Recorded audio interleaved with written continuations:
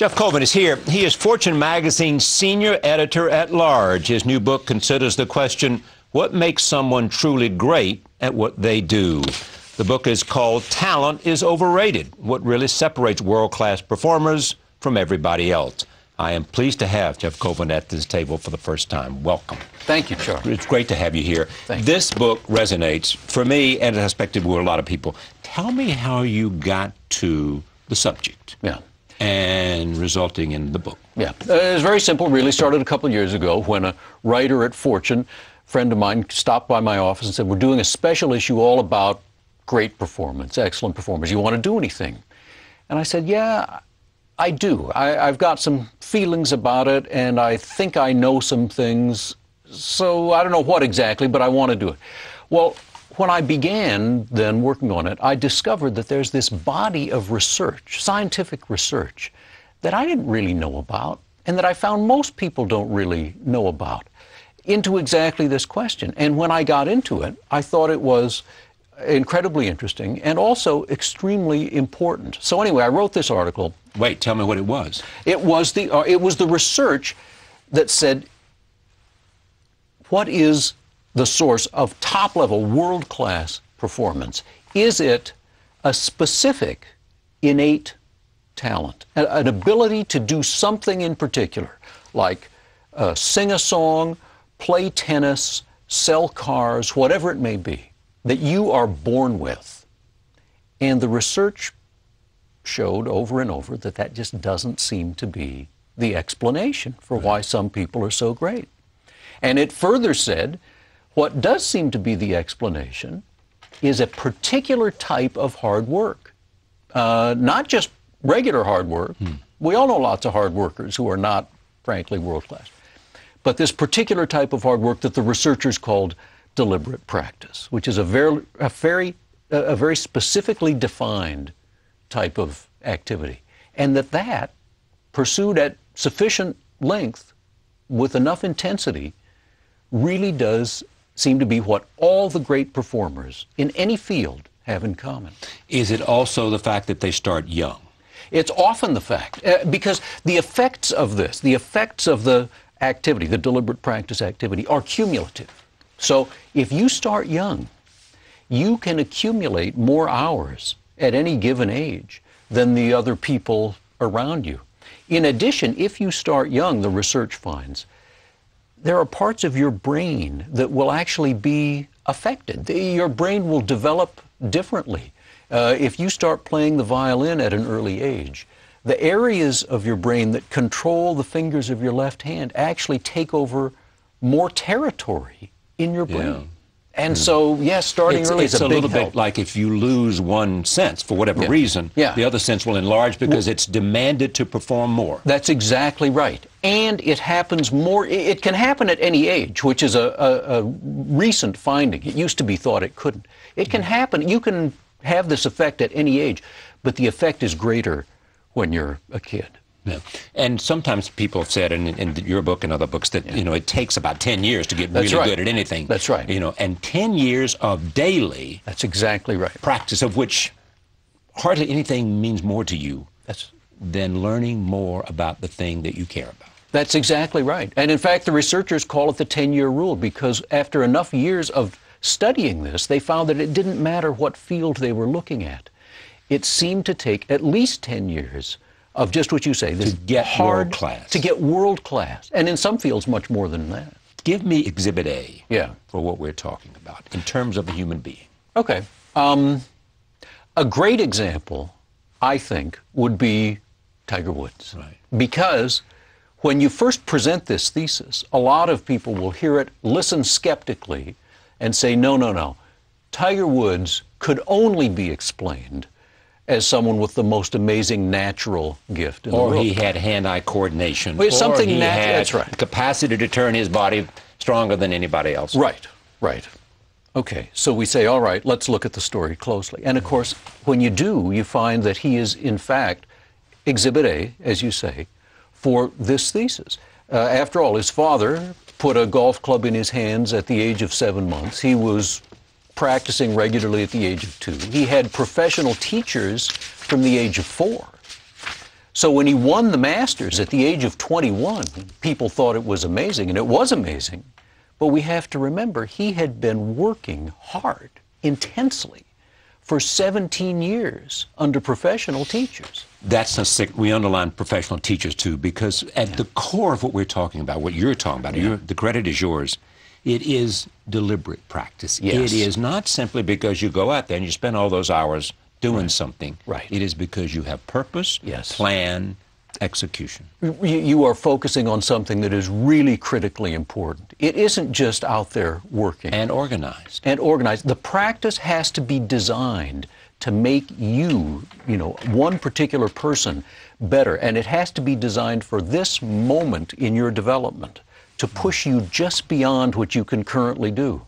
Next week, the correct practice will be different because you will have advanced and it will have bit. added to what you've already learned precisely in the last right. week. Yeah. That's exactly right.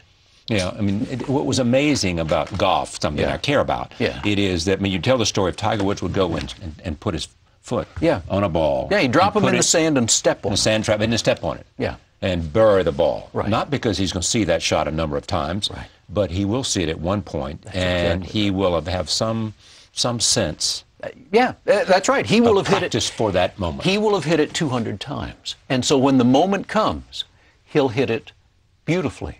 Whereas when you and I come upon that situation, we've never faced it before, and yeah. and we'll we hit, hit the ball like that. And, and, we hit the ball like that. yeah. Exactly. There's so much to apply here, but uh, someone in reviewing your book said, yeah. if you read nothing else, you know what's coming.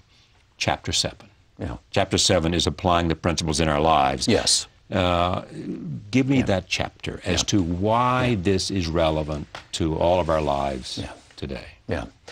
You know, a lot of people say to me, well, it's great for sports and right. music and stuff because you can practice. You can do it when it doesn't count. Right. But most of us work for a living. It always counts. We're supposed to be out there performing every day, right. all the time.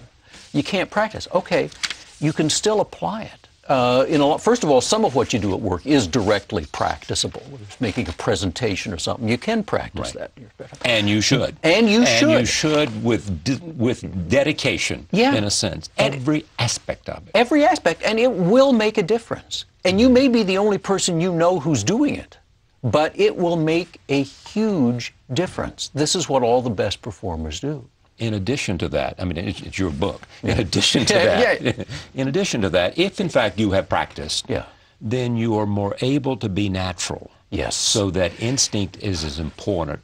Practice will give you a finely tuned instinct. Yes, uh, that's exactly right. In other words, when we see the great performers, they seem to do it with such ease, so naturally, that we think they're just different from me, you know? Well, they are different, but they got that way. They weren't born that way. Now, what does this say about the idea? Well, chapter 7, let me stay with chapter yeah. 7. Here's yeah. the quote.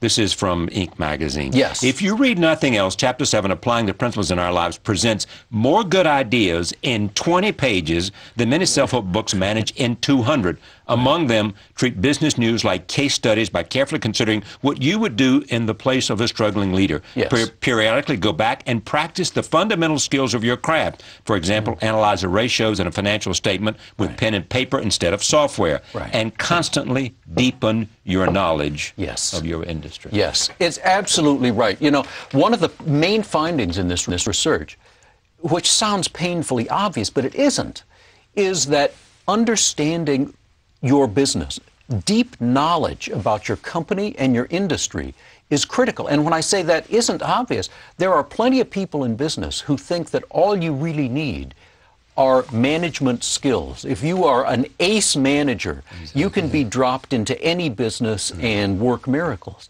Well, the research is finding, and by the way, a lot of the best companies are finding also, are coming around to this. It ain't so. What you need is deep knowledge of what you're doing. And most companies are not very good at giving people this. They, they, you're expected to fend for mm-hmm. yourself. Yeah. In fact, if you look at Silicon Valley, yeah. Google, yeah. run by three engineers. Yes. You know, right. Sergey and Larry, plus right. Eric Schmidt, right. who combines the, the engineering as well as you know some management skills as well. But they all understand deep the technology. What does this say about people we think of as child prodigies? Great question, because this always comes up. What about child prodigy? You can play the piano incredibly at age right. five. It's very interesting. Mozart. Mozart. Well, I mean, Mozart is is the, the greatest example of all. Uh, the story of Mozart is, in fact, remarkably parallel to the story of Tiger Woods. Uh, started by his father at an incredibly early age, intensive training in a particular field. Right. Uh, like Tiger, he produced his first world class work at the age of 21. In Mozart's case, it was a piano concerto. But he'd had 18 years of intensive training under an excellent teacher, namely his father. And so, in a way, it's hardly surprising that he was great at an early age. There is another book out there, and I recommend both of them. Malcolm Gladwell has a yes. book. Uh, Malcolm Gladwell has a gift for bestsellers. Yes, that's uh, for sure. we should all have yeah, this yeah, gift. Yeah. Um, but Malcolm says that you can also, success right. is also a product of hard work. Determined and deliberate practice, but also circumstances that put right. you in a certain place at a certain time. Right. Where do you put that in your context? Yeah, in my context, that's what I refer to in the book as the supporting environment. And it's very important. Uh, it can be the environment in your family, uh, which actually turns out to be extremely important. Tiger Woods, Exhibit A. Exhibit A. Mozart, Exhibit B. A- exhibit B. That's exactly right. Go ahead. Uh, but also the supporting environment in a larger sense. What kind of schools you had a chance to go to? Well, there's that, but there's also just the, what's going on in the civilization around you at a particular moment. Mm. And that, that's important. That, that's absolutely a factor. Yeah, and Warren Buffett, for example, you know, yeah. has this great theory, which he, I think, calls the ovarian lottery. Yes where you were born can make a difference. Your chances if you were born in the most underdeveloped place in the world, right. where there are no schools and right. no hardly electricity, right. and nutrition may not be perfect, right. the odds are much harder that's for right. you. And I think that's part of what Gladwell's thesis is. Yeah, uh, of course that's true. And what the, but what this affects is your chances of being able to pursue what's described here. In other words, your chances of being able to devote the time and effort to the years of deliberate practice necessary to become a great performer. Golfers do an amazing thing, uh, in which I characterize this as always going back to the well. Yeah. They continue to have golf instructors. Yes. Tiger Woods yes. went right. to Hank Haney because he was unhappy right. right. with his stroke, right. with his swing. Right. He had already won the Masters twice. Yes. And almost every other tournament. Yeah.